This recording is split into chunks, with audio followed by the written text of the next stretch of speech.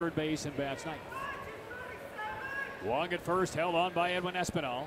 And the 1 1 from the righty, swing a high drive, will hit, left center. Mahtook looking back. This ball is out of here. Christian Arroyo bangs out a two run homer. And the Bulls take a 2 0 lead against Lewicki. Two batters in the first inning.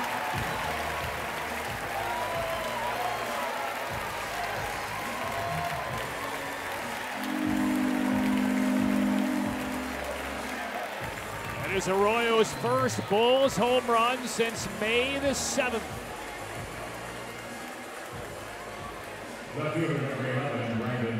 Two nothing Durham as Arroyo got a pitch right over the heart of the plate from Lewicki.